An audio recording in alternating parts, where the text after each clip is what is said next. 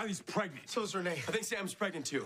Wait, are we about to high five or freak out? Because I'm leaning towards freaking out. Freak out.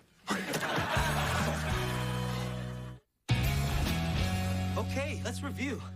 Danny, you're going to have a child with the girl of your dreams. Ben, you're having your second unplanned child with a cheerleader you've been in love with since high school. And I've knocked up a girl whose name I'm not even sure is spelled with two E's or three.